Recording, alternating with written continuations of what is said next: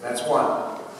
The message of outreach to unaffiliated Jews is clear to all of us in this room. What about outreach between or among Orthodox denominations? Is that equally important? A personal question to Rabbi Sacks. Um, you had a very close relationship with Lubavitcher Rebbe. What is your favorite story? I am an Iranian Jew who immigrated to the United States after the recent Islamic Revolution. What is your assessment of Jews who are living in third world countries such as Iran? What is the Orthodox, what is the Orthodox Jewish leadership doing to support them and their way of life? And two more. Uh, two more? Okay. Um, how do you deal with the concept of chosen nation? I think an answer that this means that Jews have more potential, but even how is this justified?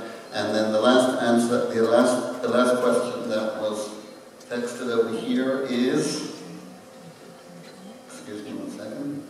Um, and the last question is, how do we, how do we approach Kiddush Hashem with our children in this generation? The first question. Remember the first question? The first, the first question was, uh, how, if you don't know Aleph Bet, how can you... If you don't know Aleph Bet, how can you walk into knowledge? Rabbi? Okay. Um, on one foot. We have to see our institutions as a big tent. We're not going to win them over by bringing them in Saturday morning for davening or Friday night for davening. It's not.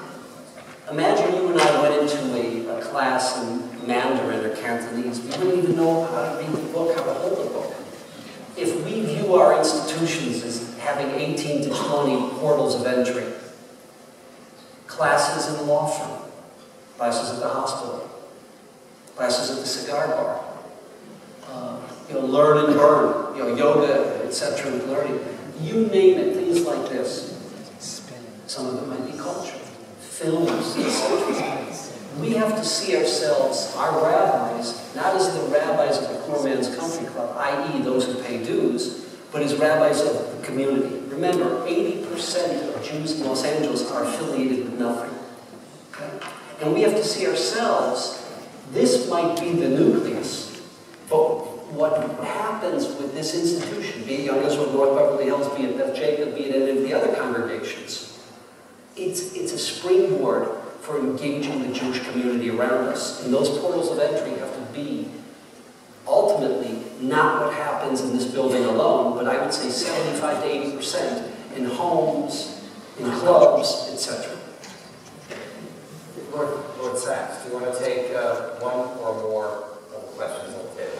Um, let me take three very quickly. Number one, how do we deal with the issue of chosen people?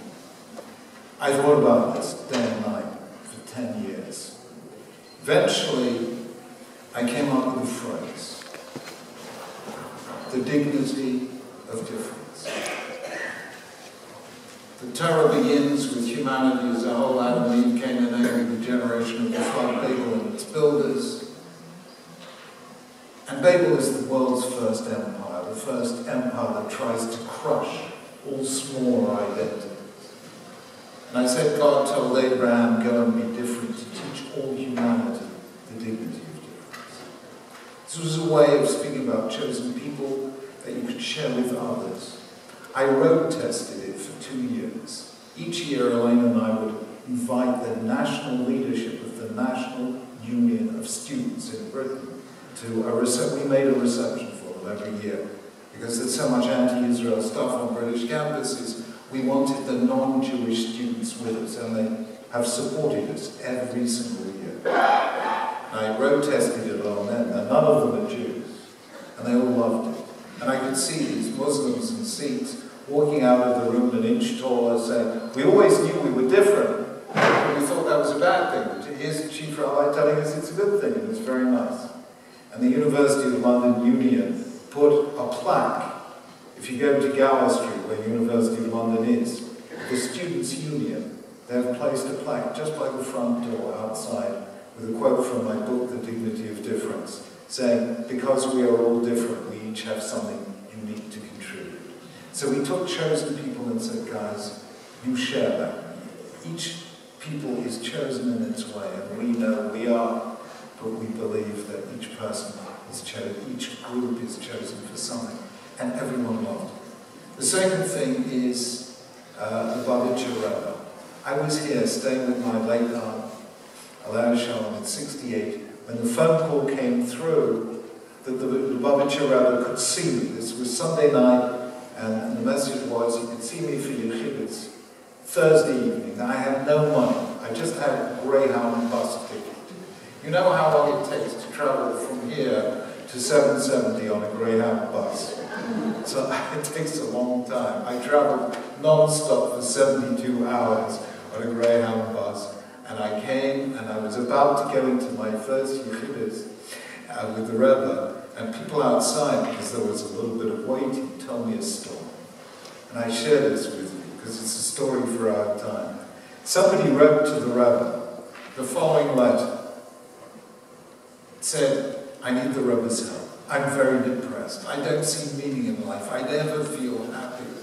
I do mitzvahs and I don't feel moved by them. I daven, but nothing happens to me. I need the Rebbe's help. And the Rebbe gave the most brilliant reply without writing a single word. He simply read the first word in every sentence. What was the first word? I. If you want happiness, stop thinking about I. And in a generation of the iPad, the iPod, and the iPhone, that's not a bad thing to do. That was the Lubavitcher And finally, what do you do with people who can't read an Aleph Beis? Let me tell you this. When we started really building Jewish day schools like crazy, we did what, what Rabbi Wallace mentioned even here. We were raising a generation of Jewish kids who knew more than their parents. And the kids were coming back, reading Aleph and talking Divrei Torah. And all of a sudden the parents realized, I can't read an Aleph Beis. So when we, we created a program, the crash course in Hebrew reading, it started immediately after, uh, after the Chagim and it finished before Hanukkah. And we said, you will be reading Hebrew by Hanukkah and it won't take a miracle.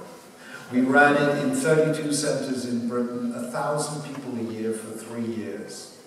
3,000 adults who couldn't read an Aleph Beis and found themselves able to get, read an Aleph Beis.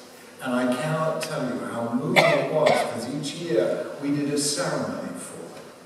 And they were getting up one after the other saying, you know, for the first we can light Hanukkah candles and I can make the bracha.